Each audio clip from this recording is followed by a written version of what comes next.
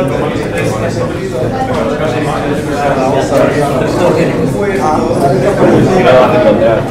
que tampoco sabemos quién era el, quién era el futbolista. Hola, ¿qué tal? Buenas.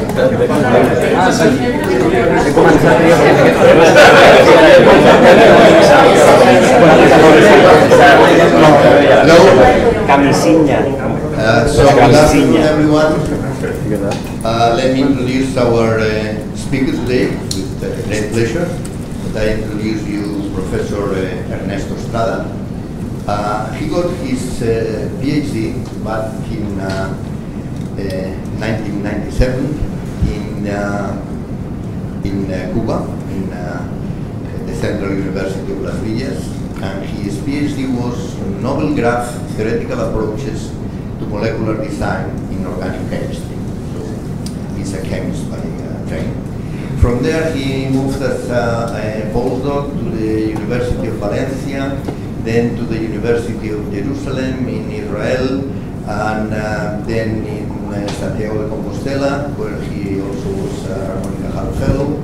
And after that, he finally went to the uh, uh, Department of Mathematics in the University of, uh, of, Strathclyde in, uh, in Glasgow as a full professor and chair of uh, complexity science. Now, if uh, you go to his webpage, what he says he does is complex systems at different length scales, which is, I guess, what- whatever I like to do. But uh, more, uh, more in detail, uh, he, uh, he was uh, mathematics of networks and applications of networks in real-world problems, including biomolecular networks or protein-protein networks, infrastructure networks, so these urban airlines, and ecological networks, and also uh, mathematical chemistry. As he told me yesterday, probably his uh, CV, this institute is in one of the places in which it doesn't sound strange. Uh, he's written two books uh, well known on uh, network theory, and he's the general editor of the Journal of Complex uh, of Complex Networks. To give you a flavor of the uh, very different type of things that he does, I, I read you just a few titles of uh, some of his most quoted papers. Uh, subgraph centrality in complex networks, atom-bond connectivity index modeling the enthalpy of formation of alkanes. Recent advantages, recent advances on the role of topological indices in drug discovery research. Visual identification of essential proteins within the protein interaction network of yeast. What else do I have here? Uh, using uh, network centrality measures to manage landscape uh, connectivity ecological applications. So you, you, you can see it has a very broad scope of, uh, uh, of interest, spanning, I would say, all our research lines. So it's a pleasure to have you here. Thank you very much. So thank you, Maxi. It's a great pleasure and honor for me to be here. Uh, it's possibly one of the biggest quorums I have had in a, in a seminar, so it's, uh, it is fantastic. Um, I am competing for the longest title of any presentation at all in the Institute, so you can see it's uh, four or five lines. Um, and the justification for why I'm in the math department, well, I, I really do math, so I, I try to prove theorems and, uh, and things like that. But it's, it's the only department that can, uh, uh, apart from this institute, to have somebody as spread as myself. So otherwise you are fired from any other department. So, so I will, I will talk a little bit about some, at the end, I will talk a little bit about some new results about uh, machine learning for complex networks. But the, the real message here is uh, this, this part of the hyperspherical space and how uh, communication or navigation take place on networks in reality. So the first part is a little bit of thought provocation, so feel uh, uh, if you like. And uh, uh, but by the way, I like very much the, the, the lemma of the uh, institute, which is uh, connecting science, understanding complexity. I think more or less this is what I try to do as well. So what is the framework here? I was told that I need to give a little bit of wider uh, kind of introduction because not everybody knows what networks are and so forth. So uh, basically we can say that networks are the topological skeleton of complex systems. So if we have here uh, infrastructures, we can represent uh, the, the entities of this uh, infrastructure by nodes, so they could be computers or could be train stations or whatever, and then the relation between them that could be cables connecting computers or, or lines connecting the train stations as the edges of this network. Uh, social group or social networks uh, of any kind, it could be face-to-face -face, or it could be social networks in which the entities here of the uh, network are, the nodes are represented by people, and then you have a lot of different type of relations. It could be friendship, familial types, collaboration, etc., etc. And then if you see, we are going down in the scale, and then we can find here uh, certain kind of ecological networks in which what we really have are that the nodes here are not individual animals, but they are the whole uh, uh, group of species of one typical class. And then they are typically connected by trophic interactions, who is eating who. And then this network, of course, has some directionality because the wolf eat the rabbit and not vice versa. And then we can go back in this, down in the scale, we can have, let's say, anatomical networks. So typical case is uh, uh, brain networks in which you have spatial regions of the brain or functional regions of the brain, or you can have vascular networks and so forth. And then at the very down scale of these complex systems, we have all the intermolecular uh, interactions uh, that typically appear in chemistry or in biology. And uh, many of these uh, networks emerge from experiments in the so-called omics technologies. So you can start from genomics and the, the, the entities there are genes, or in proteomics, and then you have um, uh, proteins as the nodes, and then different kind of interactions. It could be uh, activation of one gene to the other, or physical interaction, non-covalent interaction between proteins, uh, the different kind of, uh, of connections. But you can have reaction networks, like metabolic networks, in which the chemicals are connected by chemical reaction, which are activated by enzymes, or you can have any other type of molecular interaction. You can even represent a protein as a network if you consider the interaction, the non-covalent and covalent interactions between uh, the residues of or amino acids in a given protein. So this is the so-called residue networks. So you can see practically you can represent any networked system by using this kind of technology. And then some people are scandalized in some way. I say, okay, but Ernesto, you are telling me that almost everything is a network. And I say, well, a network is just a mathematical object. In a similar way as an integral is a mathematical object. And you don't care what you are integrating, and the integral acquire a physical meaning according to what you are integrating. It could be molecular shapes, or it could be an abstract function. So this is exactly the same. There is nothing special about this kind of representation by using what we call in mathematics a graph. So a graph is a mathematical object. It's in reality a one-dimensional object because you only need a set of vertices, which is uh, the nodes here represented by the entities of the complex system. And then in reality, the edges, which are the relation between these uh, mm, nodes, came from a subset of the Cartesian product of the set of vertices to itself. So I, I, put this very intentionally because when I work with molecules, uh, some chemists uh, raise their hand and say, Ernesto, you are uh, representing the molecule as a two-dimensional object, and the molecule is known to be a three-dimensional object. And I say, I'm sorry to say that I am representing this by a one-dimensional object.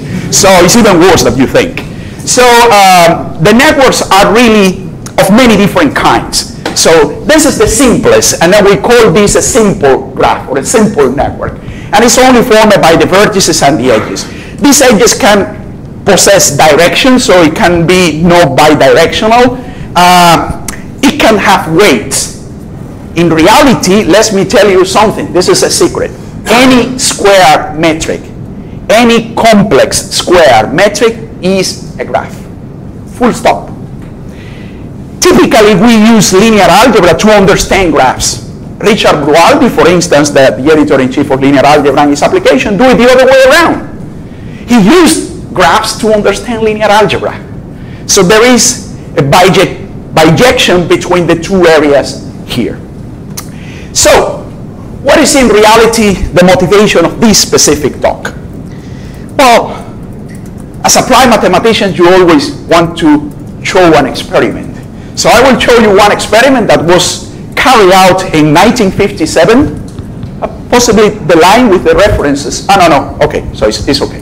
So uh, this experiment was carried out by Stanley Milgram, who was an experimental psychologist in, in America, and he's very well known, famous because of another experiment I can tell you uh, in the coffee or with a beer if you like. But the experiment was really motivated by uh, the speech for the Nobel Prize uh, uh, of Guglielmo Marconi, and he asked the question, what should be the separation between two individuals in the world? But not geographical separation, social separation. If I shake hands with Maxi and Maxi shake hands uh, with Ingo, then my separation to him is two steps. So this is the kind of separation that they were interested. So Milgram was an American uh, psychologist, so you know that Americans believe that the world is just America, so he did the experiment just in America, taking about 300 people from the central states of America, Omaha and Wichita, and then the experiment consists in the following he gave a letter to the people and say, this letter have to arrive to somebody, suppose with a name, living in Boston.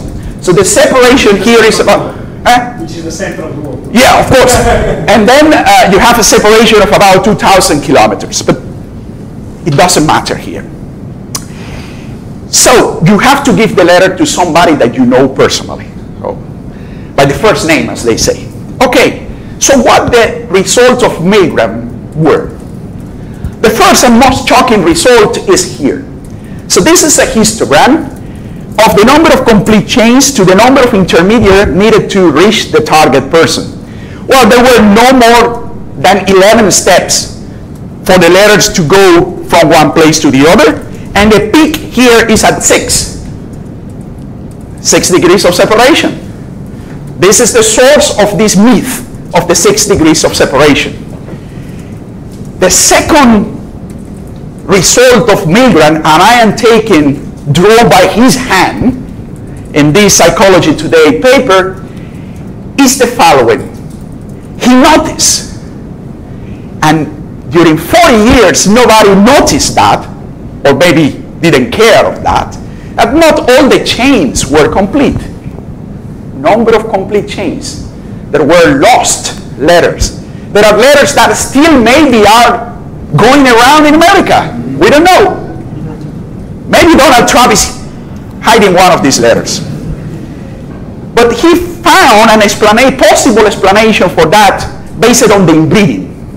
We call that in mathematics transitivity. Maxi and I am friends.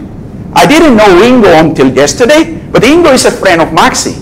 So the chance that we close a triangle by transitivity is higher than expected if these social relations were totally random. So, in other words, we have more tri it's not really triangles, but we have more close transitive relations, like triangles, than the ones that we can expect. So how this can affect this number of chains here. Suppose this is me, and I give the letter to F. The only thing that F knows that the originator of the letter was me. So he can pass the letter to N. The only thing that M knows is that the originator of the letter was F because the memory didn't, didn't keep memory. So he can send me the letter back to me. I'm a busy person. So I will do it a little bit more. I will give to C. C passes to B. B return the letter to me, and I get bored of the experiment and throw away the letter. So that's a possibility. So there is certain amount of information that can get lost when we try to communicate in this diffusion-like way. But now, these degrees of separation has been immediately associated with the mathematical metric that exists since long time in graphs and networks, which is the shortest path distance. So what we can say here in mathematical terms is that for this network, social network in the US in 1967, we don't know, maybe 100 million people, the average shortest path should be maybe about six. I don't believe that, but this is what people believe today. And what is the shortest path? Well, a path is just a sequence of different nodes and edges in the graph. And this is very important because there is a confusion, particularly in the physics literature, between path and walk. And I will use both. And in a walk, you can do backtracking, you can do repetition, but not in a path. And we are lucky in English, that's maybe why this is the language of science. In Spanish, it's a little bit different. They say camino of this type or camino without repetition. But here we have the two, even three, so we have the trail as well. So, for instance, if this is the originator of the letter and this is just the target, there are many different paths. There are many of these different sequences that avoid any repetition of the nodes or the edges. But only, in this particular case, only one of them has five steps. So the length of these should be one, two, three, four, and 5. So this is the length of this shortest path. And among all the paths, the one with the shortest length is the shortest path. And then we can prove very easily that this is a distance. This is a distance, it fulfills the four axioms of a distance, if the network is undirected. If the network is directed, two of the axioms are not fulfilled. There is no symmetry. It means that going from A to B can take five steps, but going from B to C can take an infinite, or zero, or one steps. So then it means that this is true, this is a distance, only for the case of undirected graphs. And this happens for any metric, for any distance, okay? We have these so-called centrality indices that try to capture how important you are in your network. So this is the closeness centrality, this is the between centrality. I will not take details, but this is based on the inverse of the sum of all the shortest path distances. And this is just the ratio of the shortest path going from R to S and crossing the node I, which I am evaluating here, divided by the total number of shortest path, which go from R to S. So then it means that these are centrality for what? Well, these are centrality if the processes which are taking place on the network goes exclusively by the shortest path. Now, here you have who can identify this quantity. This is the network efficiency. And this was put forward by a friend of mine. I discussed this a couple of weeks ago with him, Vito Latora and Marchiori. And this is just the normalized sum of the inverse of all the shortest path distance in the graph. So they call efficiency. Efficiency for what? According to the definition of efficiency in the Oxford English Dictionary, is the ratio of the work done or energy developed by a machine, engine, put here network, they are not very updated in Oxford, to the energy supplied to it, usually expressed as a percentage. So there is a dynamical process taking place over there, which I am in some way or somebody, nature, society, is optimizing. And this is related to this efficiency, because this is energy work done. So this is efficiency for what? Well, only for dynamical process taking place only through the shortest path. So maybe in networks, all the communication goes through the shortest path, as people has been believing in network theory for 20 years now, since the paper of Watts and Strogatz in 1998. So let me resume here what people believe. The observation is most of real-world networks display relatively small average shortest path length. This is a small world phenomenon put forward by Watts and Strogatz in 1998. And then we made the inference that item must travel mainly through the shortest path. If you want to see very nice uh, uh, observation that this is not true, just here you have a member of the uh, institute that has fantastic uh, uh, results showing that this is not always the case. But let me show you, if we try to assume this, why we get into troubles. So what are these troubles? Well, the sender of the letter generally don't know what is the structure of the network. And in order to know what is the shortest path, you need to know what is the global map of the network. So that's a little bit problematic. let's me try to think that Americans in 1967 were rational beings, and they follow a certain kind of rational algorithm. So I have five friends. Max is very well connected. He knows 100 people, and he only knows two people. So to whom I will give the letter, to him or to Maxi? Just to Maxi. Because the chance that the letter is just directed through the shortest path by taking the most connected node will be higher than if it takes somebody that only knows me. So the letter will return immediately to me. So what happened then is that I can say, okay, there is a high probability that the shortest path, this is asymptotic, but let me say it like that, that the shortest path connecting two randomly selected nodes P and Q goes through the most connected nodes. So suppose that this is the most connected node of this, so it passed the information to this. This analyze the same, do the same, do the same. So this is the shortest path here. And then, bingo. Sending the information to the most connected nodes saves the case. Are we missing something? Maybe transitivity.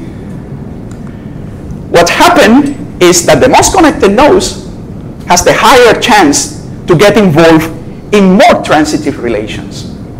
They take place in more triangles. So if you give the letter to him, the letter can go around this node and get lost. So we have a paradox.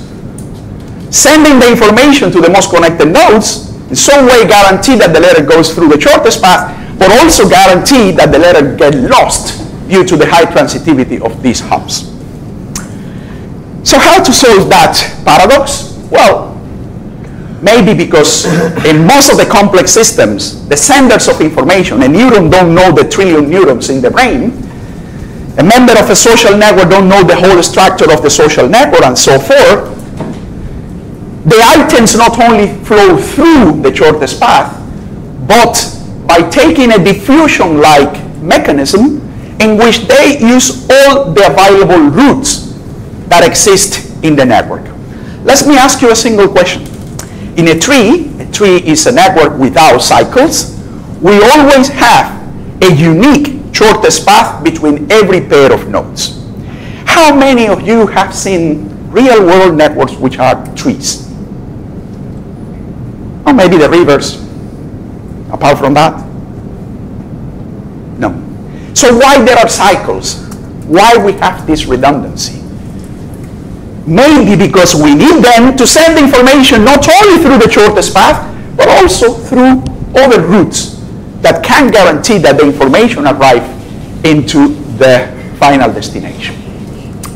So now we, in 2008, uh, with my colleague uh, uh, Naomichi Hatano in Tokyo and with uh, Rodriguez Velasquez, which is in Tarragona, we define this communicability function that take into account that the communication between two nodes, the communicability between, between these two nodes in a network depends on the total number of routes connecting them.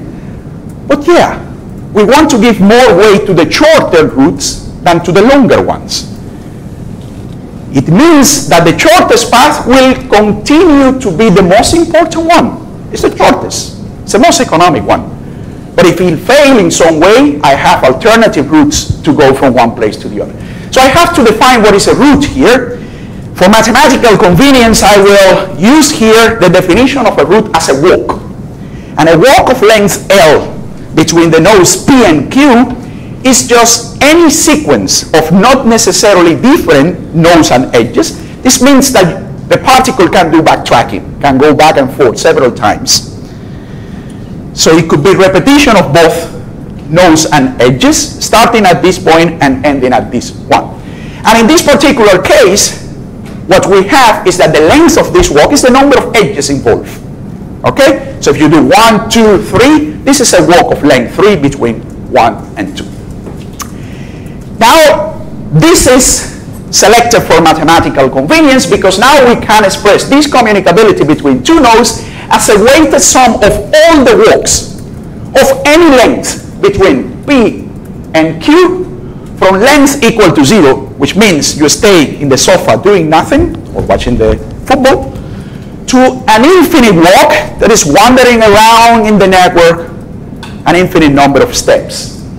But see, if we don't put these coefficients here, these series diverge, and we obtain no information at all. So what we really need are these coefficients here that need to fulfill two conditions. I used it to say that. I wanted somebody to say, yes, Ernesto, I can prove that. It's easy, but so we can say that this made the series converge, and at the same time that give more weight to the shorter than to the longer one. Possibly the two conditions are the same. So possibly if you do this, you guarantee that the series converge. And in order to guarantee that the series converge, you need to do that. So, but I want to emphasize both to see the meaning of what we are doing. So why number of walk of L steps? Because we have the adjacency matrix. Forget about this definition, which is in terms of operators in a Hilbert space. But this is just the adjacency matrix that they zeros and ones. Ones if the corresponding two nodes are connected and zero otherwise. And then we have this theorem that was proved by Cvetković in 1967 that said that the number of walk of length L between the nodes P and Q in any graph is given by the PQ entry of the Lth power of the adjacency matrix. So now we can take this and plug in our equation here, and then we need only these coefficients. Suppose that our metric is diagonalizable, so I will have eigenvalues that I will use here in non-increasing order and the corresponding eigenvectors, so I can plug here in our expression and I will obtain the communicability on the basis of powers of eigenvalues and the product of eigenvectors.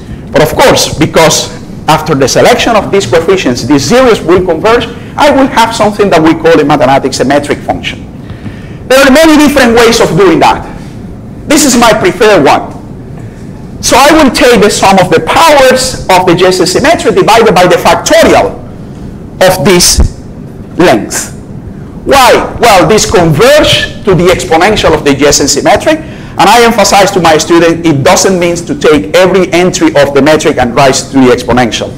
Because many times my students in the lab come and say, Ernesto, the communicability metric is just full of ones. Yeah, if it has many zeros, the exponential of zero used to be one. But this is not like that. So you have a definition based on this Taylor series. Also, don't do the calculation by using the Taylor series. There is a paper in the SIAM Review, which is 19 dubious way of computing the exponential of the metric. So any of these 19 dubious ways of computing the exponential is, is better than taking the exponential.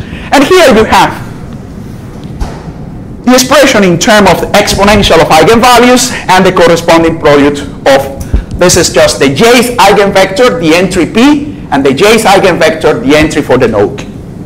So you are physicists. Does this looks to something familiar, exponential of an operator? Yes, exactly. So we can have different interpretation of this. Here is my preferred one. And then we published this in a physical report in 2012 with Naomichi and Michele. And here is our idea. Okay, you take the network, your real world network, as a network of coupled harmonic oscillators. So here you have these are balls of mass m. They are connected by springs of force constants omega. And here is the trick. We need to tie these nodes to the ground with one spring that has a force constant much bigger than the maximum degree. The mathematical trick here is that if you solve this vibrational problem, it involves the Laplacian. It's a Laplace operator is the one. So I want to get rid from the diagonal entries of the Laplacian operator, which are related to the degree. So I want that the degree, if I remove them, what I am doing physically is removing the translational movement of the network. That's very, very realistic. My brain is not moving out my school. Okay? So in this way, if I solve, this is the Hamiltonian, these are the ladder operators, and you know more than I, like, uh, uh, things like that. So the, the vibration in one particular node can be felt by another node, connected or not connected to this particular node. Then we solve that, taking the partition function, etc., etc., and prove that the thermal green function, which tell you how a thermal perturbation and an inverse temperature beta is felt, a, a thermal oscillation at the node P is felt by the node Q is given apart from physical constants here by the exponential of the adjacency matrix, the corresponding PQ entry. So then it means that this communicability function is telling us how a perturbation at one given node is felt by another node in the network if this perturbation is transmitted not only through the shortest path, but by any route. And this is what happened in the real world. You take a network of coupled harmonic oscillators. Well, if you are asking yourself what happened if you don't put this in a quantum system, well, you end up to a different system here. You end up with the resolvent of the adjacency matrix. We solved the two problems here in this paper. So, how people has used this kind of ideas in order to compare with the shortest path. We never, well, maybe, maybe in the future, but we now don't have any direct proof that for this system, information is really transmitted through the shortest path or through all routes. Maybe with Ingo we can do something experimentally there. But there are indirect evidence that this can be in fact taking place. So the first two papers were this by a group in Strathclyde and a group in Oxford. I am not co-author of neither of the two papers, so you can believe me. And they did the following. They took 10 patients that has suffered a stroke six months before the experiment. The stroke was always in one brain hemisphere. And then they compared them with 10 healthy individuals, more or less same age, sex, etc and they study the flow of water through different regions in the brain by using imaging tractography. So in reality, you have a relatively small network, 56 nodes only, which correspond to 48 cortical regions and 8 subcortical regions. But you have direction in the flow, and you have a weight, which is the amount of water flowing from A to B which is not necessarily the same from B to E. And I will go quick because otherwise I will have no time for the rock and roll. If you assume that this water is flowing just through the shortest path, you are not able to distinguish some of these points here. Why is this important? This was my first question to them. And they explained, well, we want to use this as a tool for checking whether I have suffered a stroke or not in the past and said, well, if I suffer a stroke, I will know. Not necessarily. You are getting older, not you, me. I'm getting older, and I am losing abilities. So in the past, I danced a lot now. And then I say, this is because I am getting older.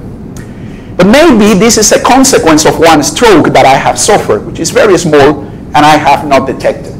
So if you go to your doctor and you say, could you please using this sophisticated technique tell me whether I have a stroke or not. If you are in this situation, the doctor can tell you nothing.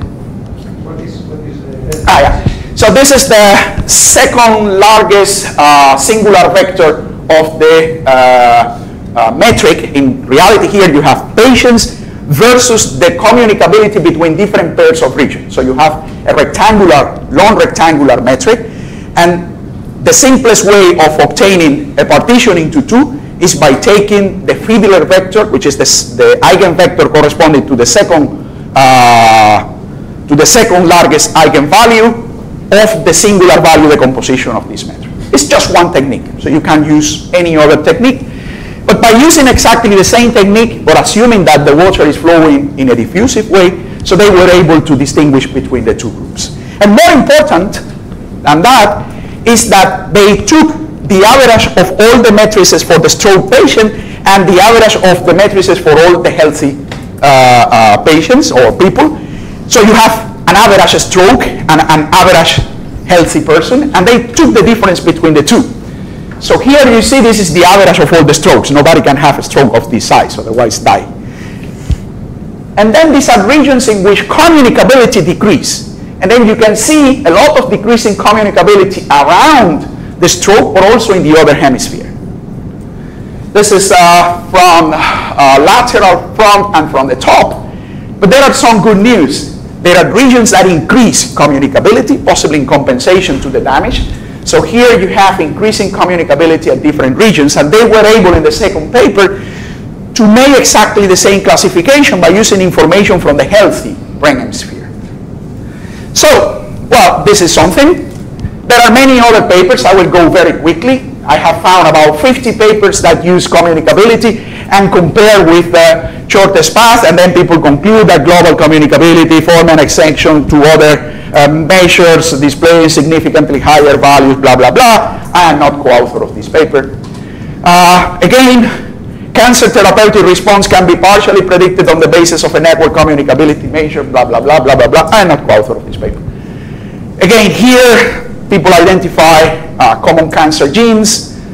Here is uh, early relapsing remitting multiple sclerosis. Uh, this is very funny.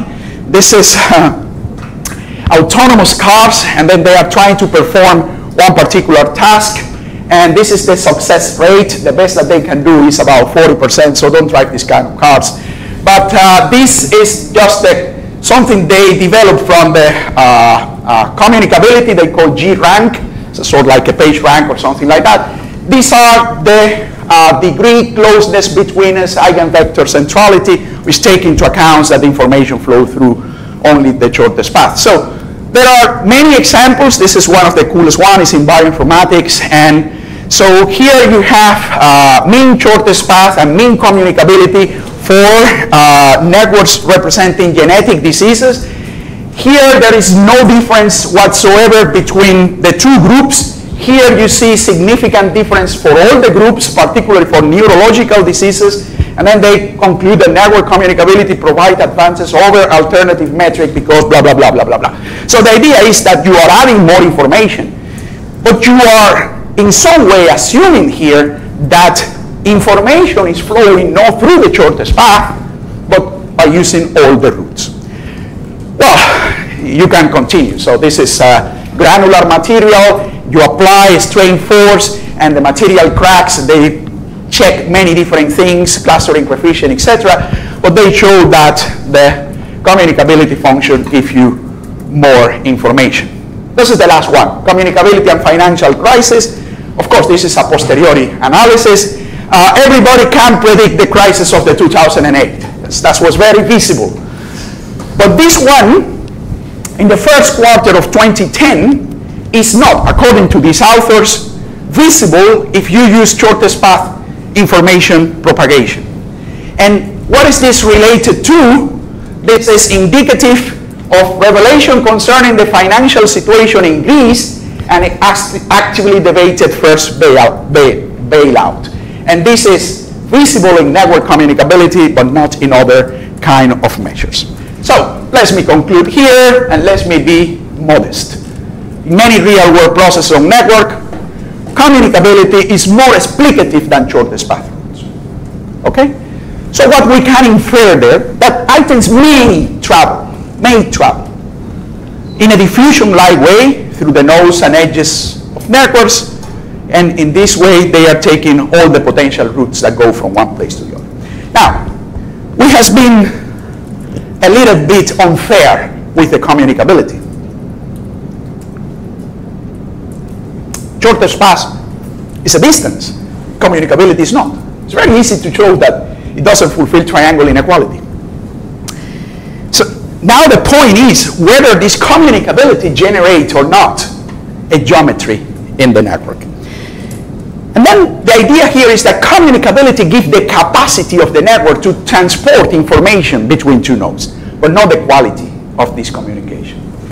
If you came from a country in which the president or prime minister speak for six hours, you can, you can imagine that not necessarily all the information is captured by people.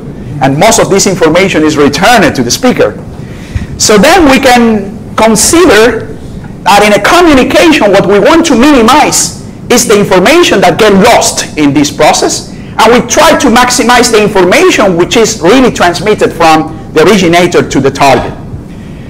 So we know that this self-communicability, the diagonal entries of the exponential, account for the information that depart from the nodes P, wander around the network, but returns to the node P.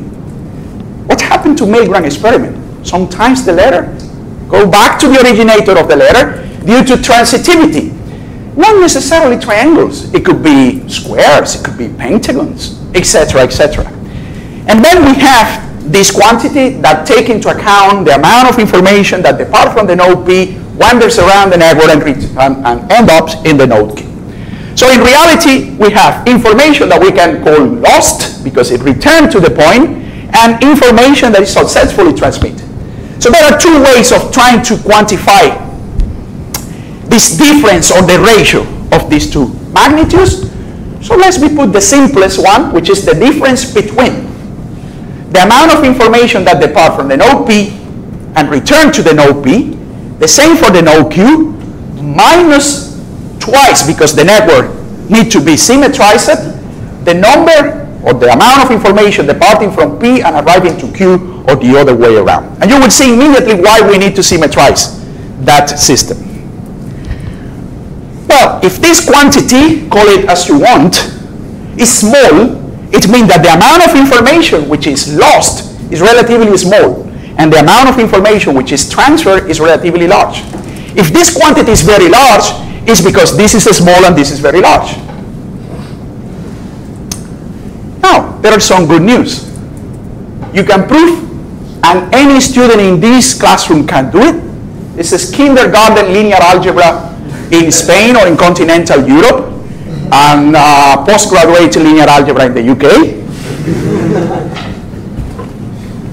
we prove that this is a Euclidean distance between the corresponding nodes. So it's not only a distance, it's Euclidean. If I ask you what kind of embedding induced the shortest path distance, nobody knows. Neither you nor I not any mathematician. So now I can compare in a fair way the shortest path and the communicability in a given network. And I will just do this comparison for this funny small network, two houses in a city. And I will assume that you are not so drunk that if you use this street, you will return the same street back. So at least you need two or three more pints for that. So if you go to this node, you are not returning. You go one of the other way. So what we have here is that we have the shortest path between P and Q is this path that has 1, 2, and 3. So now, in the network, I cannot send information outside the edges, okay? Because the space, the whole space is the graph. So I have to send information from this node to this, from this node to this, and from this node to this. So how to quantify the communicability in this path. Let's call this the communicability path. Well, I will take the sum of all the distance for all the pairs of nodes which are both connected and in the path 1. So I will take the communicability distance of this plus this plus this, and this gives me this number. Now I have this other path, which is a longer path. It has four steps. It's not the shortest path. And I do the same and I obtain this smaller number. So, the shortest path is this one. The shortest communicability path is this one.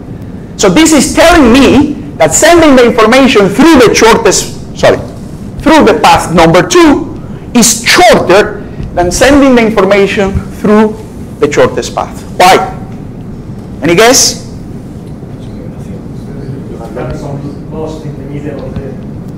Because you don't know the structure of the graph.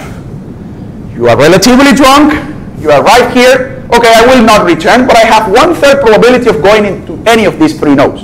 So I'm coming here, I will not return, but I have one half and one half. So I will go here, I will not return, but I will have one half and one half.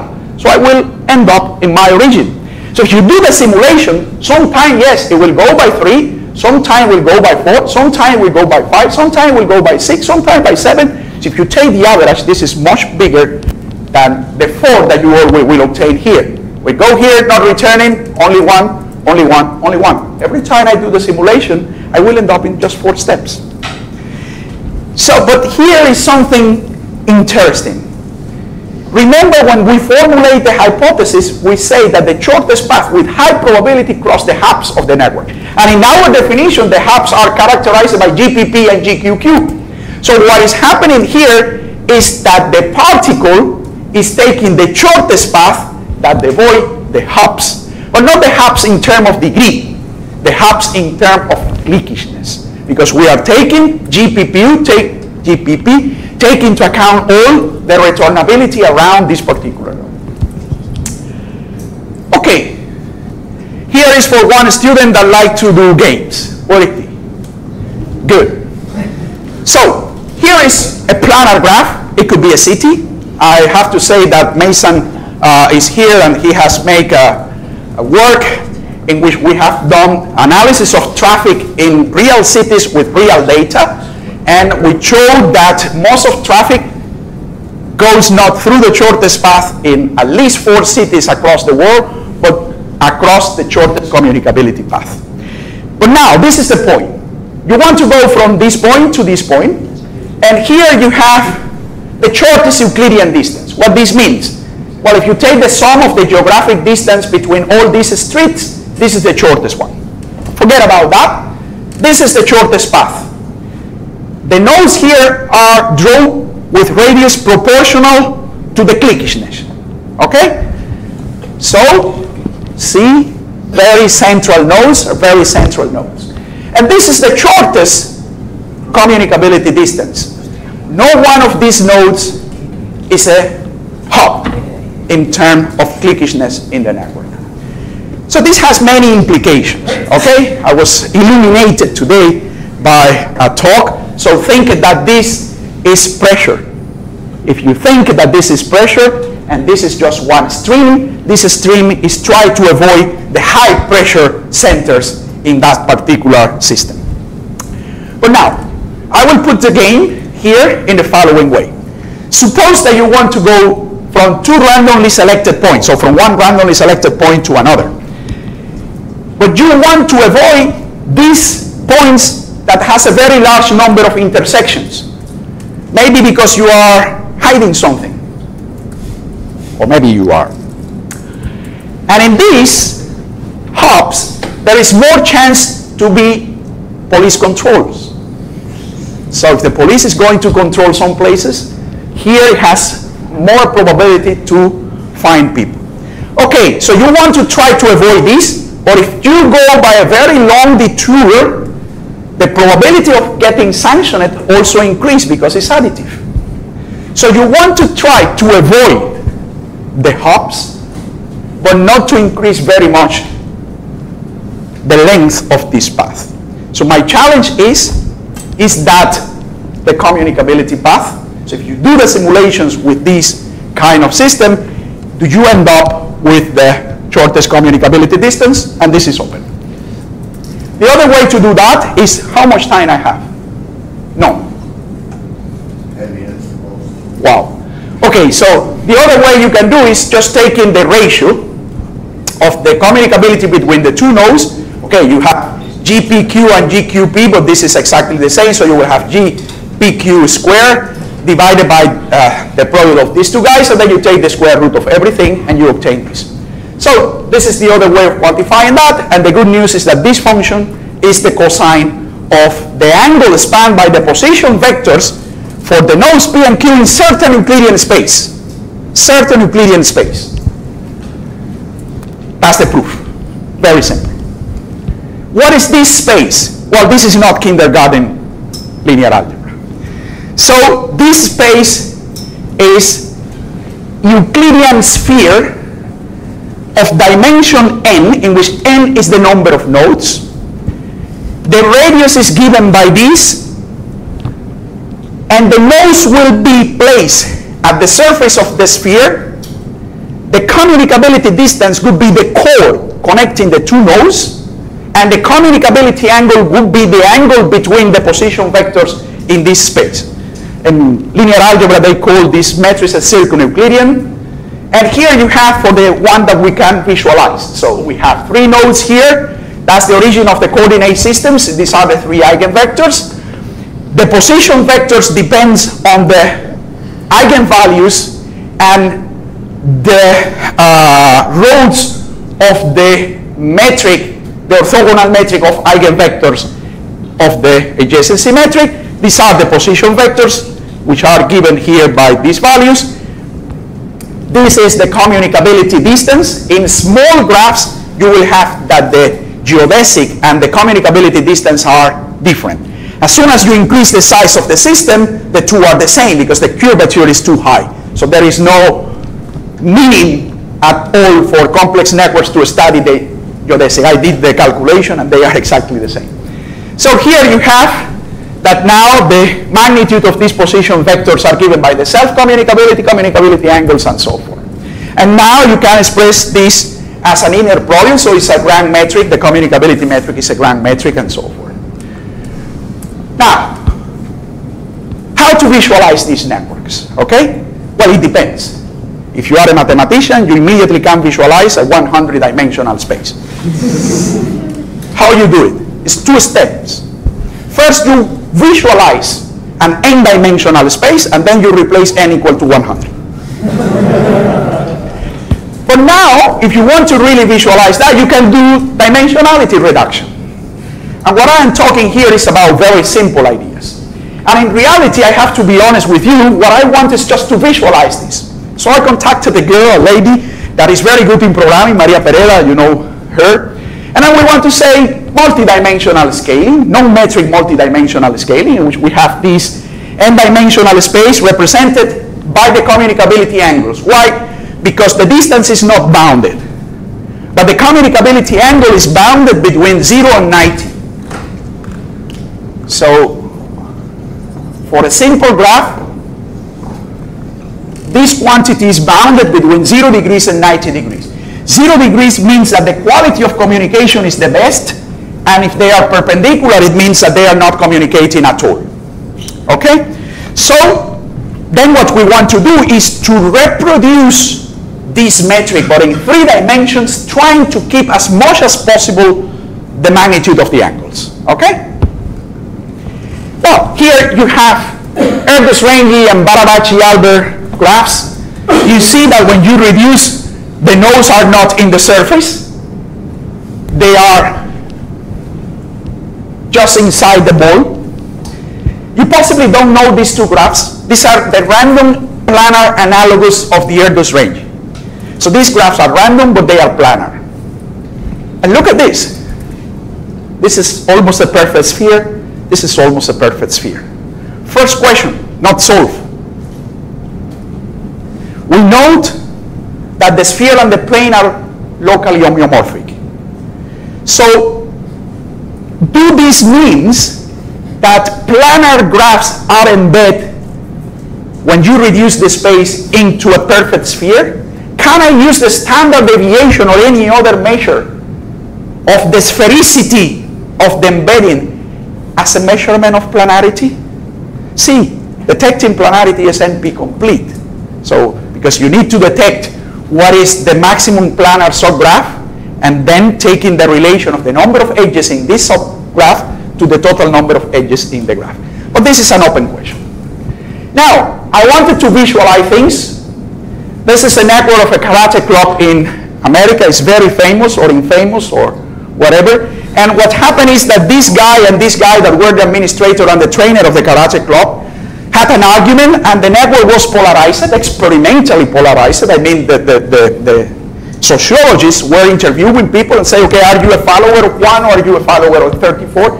And people reply to that, so we have this network. And I want to visualize many networks, but why visualize this network and make the reduction to the 3D? I saw that the blue nodes are in one side and the red nodes are in the other side. Maybe it's a coincidence. This is an network of dolphins playing um, around uh, a bottlenose uh, dolphins playing around uh, the coast of New Zealand. And there are two communities that were formed because one of the dolphins disappeared from the group.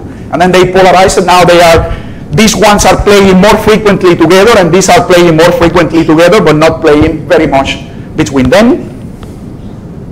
Hmm. It looks like uh, there is a separation exactly of the two groups. See that there is one group which is bigger than the other.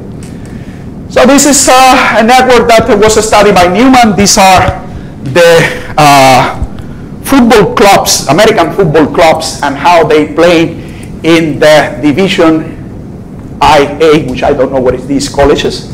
And here is, again. And here, well, there are more examples. You see that there is a natural separation of the cliques, of the clusters. So we say, why not to do cluster analysis? And this is the last of my talk. So we simply do for these five networks for which there are ground truth. So we know that there are these communities over there. Uh, this is just the famous uh, uh, Newman modularity that for our method has nothing to say because our method is not based on density, but it's based on the amount of flow of information inside the communities and outside them. And here we used uh, three different, in reality there were four different uh, quality uh, validation methods in order to see how our method is performing. So the maximum that you can have here is 1 and the minimum is 0. So in our case, for uh, most of these networks, for all of these networks, we have an average of 0.83 by using the silhouette and more or less the same here. This method is known to fail because it goes and, and try to split the, the, the, the graph into more and more and more communities. And this is what happened here, but in general don't give very good results. And these are for exactly the same five networks, the best known methods that you have for detecting clusters or communities. Louvain, which is uh, optimization of the Newman modularity, fast-greedy, InfoMap, eigenvector, LP. As average, they are in about 0.6, so we are not doing very badly at all. So at least for these networks that we know that exist uh, a ground truth, our method is producing uh, a little bit better results than the classical ones. And this is just to show one potential application here. So here you have diseases, genetic diseases, and the genes that has been identified to participate in these diseases. So if this gene is participating in ovarian cancer, so they are connected. So it means that I can make two projections, a projection in the disease-disease space or a projection in the gene-gene space. So here I have the nodes are genes and two genes are connected if and only if they co-participate in the same disease. Okay? So I will study this network. I will use my approach. This is the, how the network looks like. And there are 22 different diseases. Well, I know this. I don't, I don't want to reproduce this. I don't really want to reproduce that. I want to discover things. And in order to discover things, what I want to see is that there are groups of diseases for which the genes co-participate. And then we found A genes. So for instance, in this cluster here, 37% of the genes are involved in cancer. And curiously enough, 29% are participating in neurological diseases.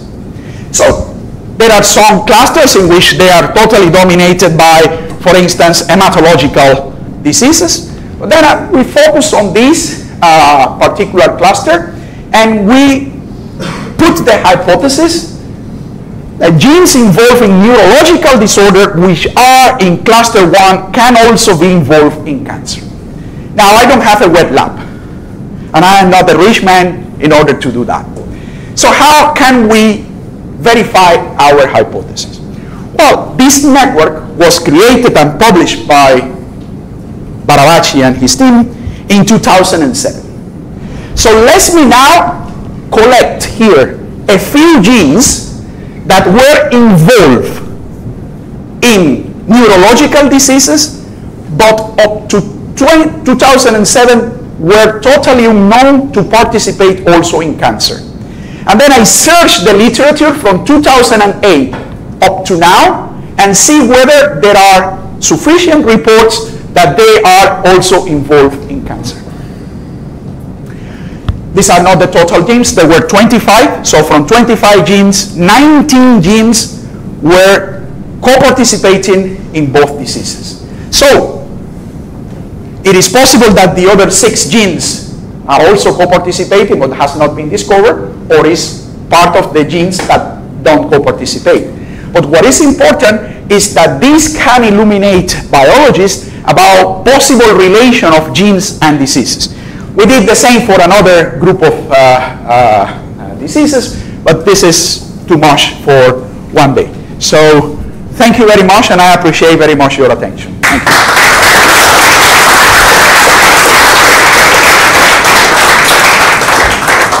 Thank you very much, uh, Ernesto.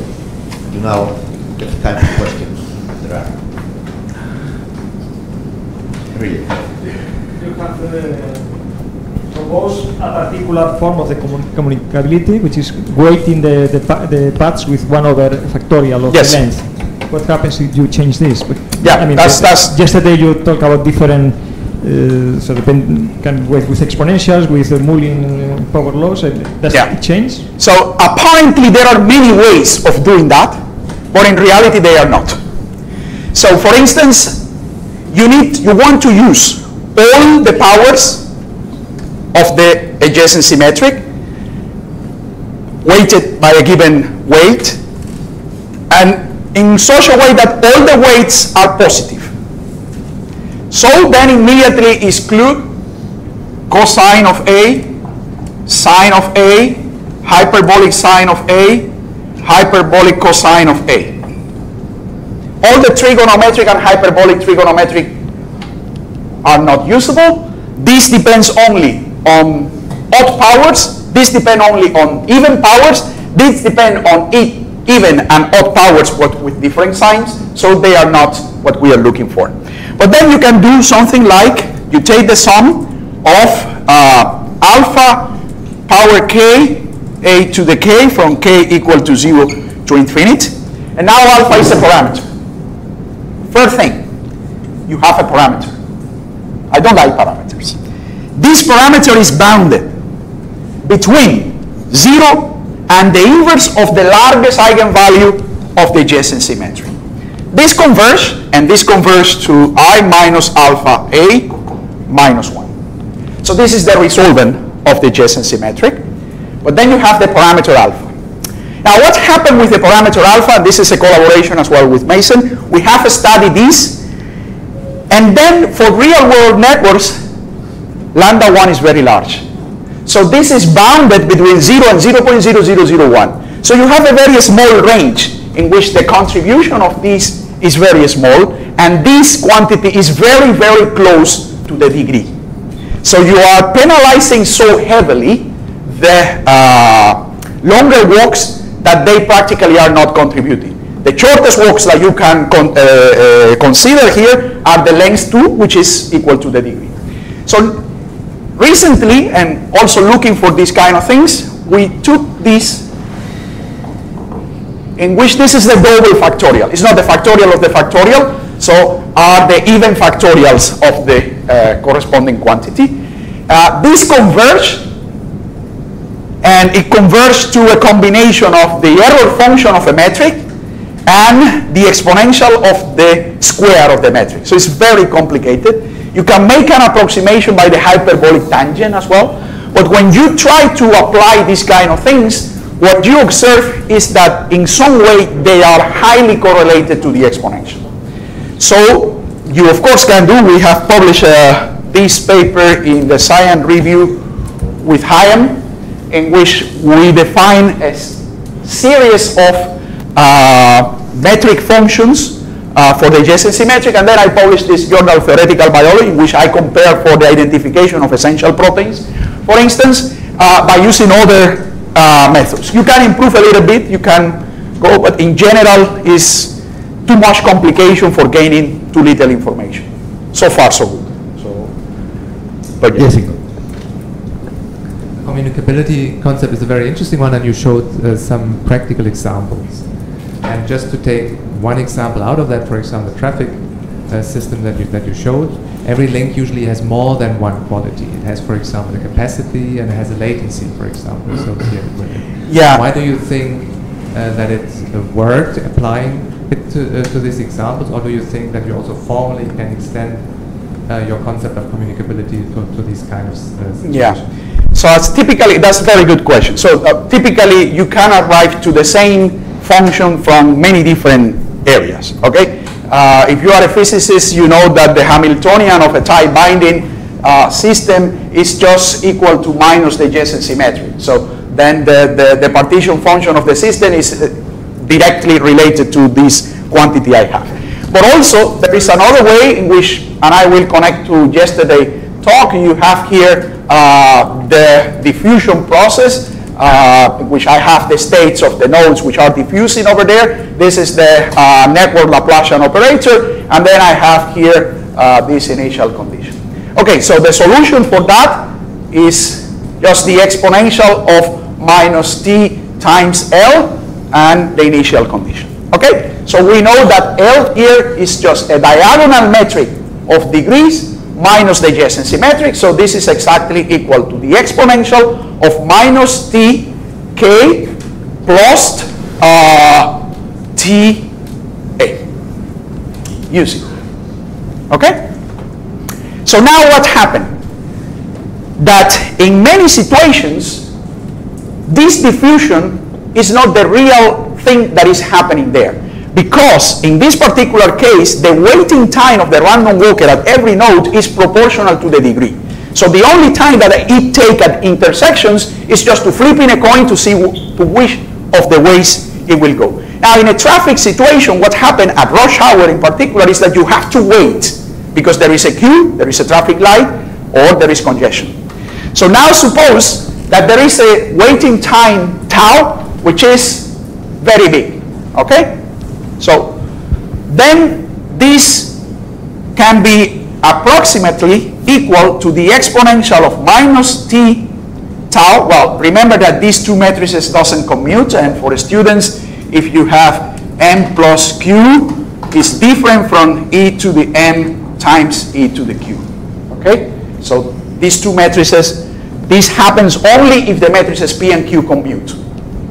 So I cannot extract communicability from this case. But now if I have this t uh, tau much bigger than the degree of the node, so we have that uh, typically the waiting time is equal to uh, dimensional constants here times the degree. And what I am saying now is that tau is equal to this c multiplied by the maximum degree in which c is much bigger than 1.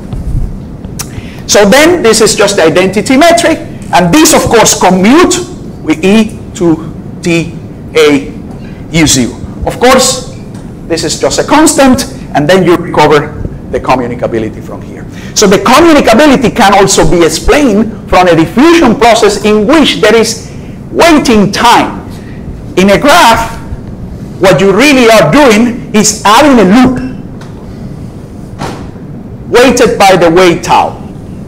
So it's like, and then if, if you think about the brain, so if you consider diffusion, it means that the information enters the neuron and immediately goes. Then what, what, what we have neurons? They have to process information. So they have to enter the neuron, do something in a given time, and then going out. And then what we have done, empirically at least, is for the traffic, we compare this term with this term. And we observe that most of the traffic go by the shortest communicability path, but not by the shortest diffusion path. So this is not very much different than the shortest path. That's a very good. Okay, Ernesto, I think we, we've run out of time, but, Yeah. but um, perhaps you could tell us briefly where was the machine learning part? Well, uh, machine learning is the techniques that we use in order to extract these clusters. So clustering and multidimensional uh, scaling and things like that.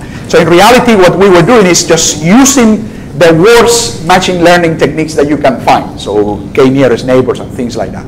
So now with uh, Russian collaborators, we are trying to use uh, more sophisticated techniques. But in reality, if you use a very sophisticated techniques, you didn't know whether the information that you are extracting is because of the embedding or because of the techniques that you are using. But yeah, it's, call it a justification for talking about distances. Okay, uh, Ernesto is going to be here this afternoon and tomorrow morning, will be here? or- No, no, I- Well, if uh, uh, anyone wants urgently to talk with uh, him this afternoon, uh, Jose which is uh, this. So let's uh, thank Ernesto again.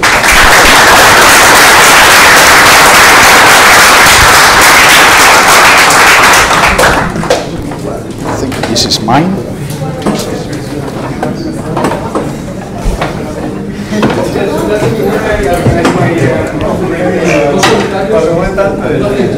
Eh? Ajá. Sí, a los americanos América. Cubanos también son, sois americanos. Sí, nosotros somos, yo soy afro-latinoamericano. No, no, pero ellos en, en inglés, en- sí, pero en inglés se llaman Americans. Cuando lo traduces ellos. ya no, pero en Inglaterra le llaman Americans, sí, sí, a claro, sí, sí, sí, claro, claro. ¿Y cuál es el segundo? Y luego el paz y walk, un paseo. Paseo en, en- Le dicen un camino, el camino no se repite. ah, el paseo es el acto, el paseo es el acto de pasear. Lo llaman walk. Walk es un paseo. Walk Ah, no caminar y no pasar. Creo que es lo que me refiero, no no tengo que hacer es que pasear. Sí, seguramente. Hay, en, en inglés hay tres, hay tres conceptos. Hay tres conceptos. Está el, el path, el trail y el walk. Eso, eso se quería llamar así. Entonces, tú, ahora nos ponemos de acuerdo los hispanohablantes de esto paseo y camino. Ah, seguramente, seguramente. Gracias. You're welcome. I, I don't know. I have I have still a few meetings, so I still have a few meetings with a few people. Yeah. We keep him busy. I think I took everything. Uh, typical. Café, agua, vino. Eh,